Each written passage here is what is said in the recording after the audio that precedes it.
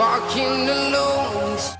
Sa hindi inaasahang pangyayari ay isang kababayan na naman natin ang nakomatos dahil sa boxing matapos itong manalo sa isang laban. At ito ay si Kenneth Enganyo na isang professional boxer na lumalaban sa ilalim ng blow by blow series ng ating pambansang kamao na si Manny Pacquiao. Ito ay isang halimbawa lamang kung bakit pilit na isinusulong noon ni Manny Pacquiao sa Senado na magkaroon ng hiwalay na ahensya at pondo ang sports na boxing dito sa Pilipinas upang matugunan ang mga ganitong uri ng trahedya na sadyang mahirap iwasan sa ganitong uri ng sports. Ganun pa man ay inako na ni Manny Pacquiao ang lahat ng gastusin mula sa pagpapagamot hanggang sa fully recovery ni Kenneth Enganyo. Nakakalukot man ay imposible na rin makabalik pa sa professional boxing itong ating kababayan dahil sa kalunos-lunos na natamong pinsala nito.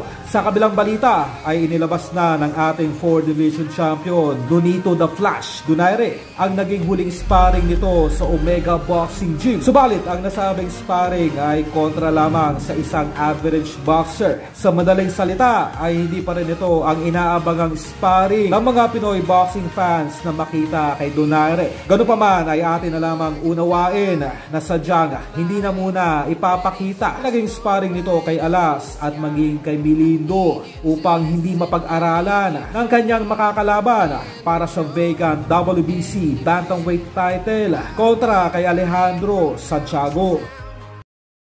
Iba yung danger na hinaharap ng mga professional boxers sa sa amateur. Kasi President, hindi nila alam kung ano yung magiging buhay nila. Pwede silang mamatay, pwedeng makasurvive.